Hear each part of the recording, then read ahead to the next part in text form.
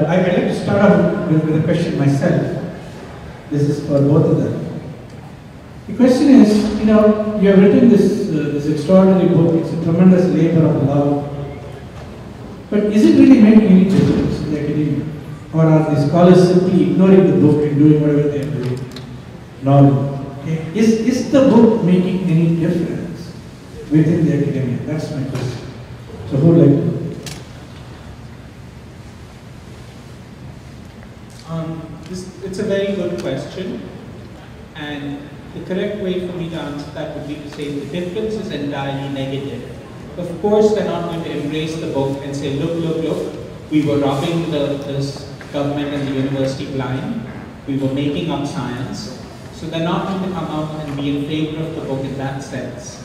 But negatively, you see within the last year, the kinds of things people can say, the kinds of things they do say, has changed dramatically.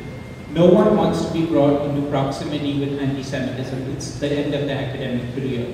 So once these things are exposed, once this logic is revealed, they can't continue in the way they were. The second level at which they can't continue is they now know if they come and say, oh, this verse of the Bhagavad Gita doesn't belong there, they know Vishwa and I will be reading their work. In our next article, we will write an entire refutation and expose their logic. So not only can they be politically damaged, but they can lose intellectual credibility because we now, look, this game continued because everyone had agreed to play. No one said, you know, you know the story of the emperor's new clothes. No one said the emperor is naked. These arguments don't work. We are the first people who broke ranks. You saw all the citations from Indian authors. They were playing the game of saying the Bhagavad Gita is bad, the Bhagavad Gita doesn't exist, and so on. Once two people break ranks and say, we will call you out on your argument, we will call your bluff, they can't do it anymore. And the final way it has changed is, outside of Indology, we have historians, students of German studies, and professors of Jewish studies, and they have discovered our book and they've been writing to us and saying this is enormous and this is massive and we are using it to teach our courses. So Indology will be sidelined and excluded when all the other departments, history, philosophy, German studies, Jewish studies, they turn on the Indologists and say, what are you doing? And that argument will destroy them. Thank you. Uh, we know that uh, Dr. Rajiv Malhotra has been doing uh, uh, good work in, in uh, defending our uh, Hinduism and. So, so, do you have any tie-ups with him or having joint conferences with him or what? We. The question.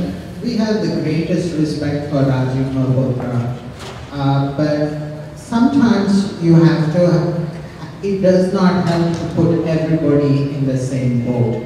Yesterday when we were flying together, I told Joy, this is probably the last time we are flying together because if the plane crashes, one of us should be alive to carry on this work. so with Rajiv Malhotra and our work, I'm only going to say, in the Mahabharata, in the Virata Parvan, there is an Uttara Gograhana That's all I have to say. Well, I think uh, the point, make the point, yeah. you know, I would put it this way, Rajiv Malhotra is doing ex exceptional work, but outside the academy, and that's creating enormous awareness amongst the Hindu community. So they are, they are making arguments inside the academy, contesting the academic perspectives, which is very important. and that is a very important distinction. But the uh, enemies are, uh, found, uh, the enemies are the same, right, for both, right? I mean, we have to. I mean, yeah. They, My enemies are anybody who will not let me worship Ganesha, will not let me eat my laddu, will not let me read my text according to the teachings of my acharyas. If you mess with me, I'm willing to give up my job, my career, my life. I will spend every, I have been spending every night and every day dismantling their work. My name is uh, Ram. Uh, this question is about uh, Wendy Doniger. You know, when her book was banned, apparently the book actually became much more popular. So my question is, when I see Western discourse it mostly centers around caste. And that is what drives up people and increases the popularity.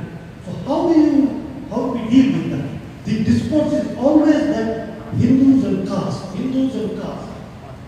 And given these sheer, numbers of what you call quote unquote non-Brahmins, and I don't mean to get into a caste debate here, don't you think that's at the root ideology? They're playing upon that caste division. How do you deal with that? If the problem is divide and rule, then the solution is unite and conquer. So, in a way, we have to pool our resources. We have to help people like Shindeji and Kalyan uh, here and everywhere, promoting good work, promoting, look, before we appeared on the scene, there was Wendy just, just doing her thing. There was nothing for us to do except to hate her. But now we have better scholarship. Myself, Joy, Surit, there's already three generations. Shindeji and Kalyan talked about the Center for uh, Indian Studies at uh, Graduate Theological Union. So let's all focus now less on Wendy because even banning her books just increases uh, her sales. So instead, let's put all our work into protecting the text, protecting the Dharma, explaining Dharma, organizing on a community level, talking to people about this stuff. If you tell 10 people about the Nay Science, those 10 people will tell another 10. And that's the way to go, I think. Uh, the, the, these arguments have been constructed in such a way that to play the game is to lose the game. The best way is just just to turn around beat them up. Hi, my name is Preeti, um, and thank you for coming into this talk. Thank you for organizing this. Um, in college, I was really influenced by uh, learning about post-colonial theory, so having a discussion like this that completely dismantles Western ideology is wonderful to me. Um, but why would the Western tradition conflate Mahabharata with um, that are possibly post-Gita, like Manusmriti, and also the evolution of the Indian society and culture over the, past 2,000 to 4,000 years?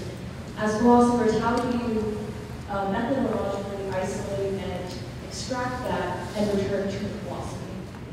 It's a very good question. As you know, post-colonial studies are a subset of postmodern studies, which are a, a, a reaction to Hegel and these master narratives that, that were created. Uh, Joy and I are working, Surit as well, on taking up these master narratives and recasting them.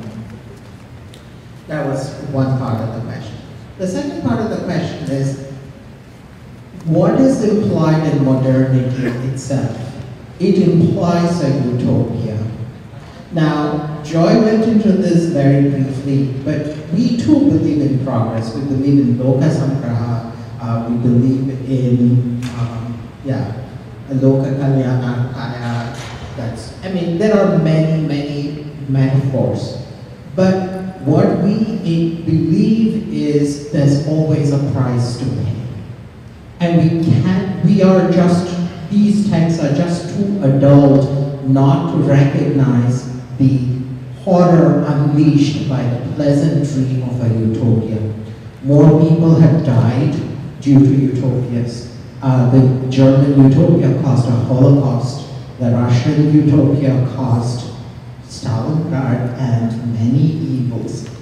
Marxism caused so many deaths. So in a way, uh, what, what Manusmriti and all these texts are doing is pointing to the um, unhappily uh, unavoidable power structures that will emerge in any society.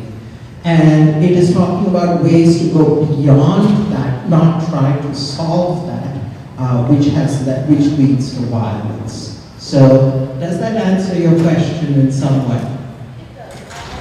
Yeah, yeah, so Hegel is someone we're taking on now.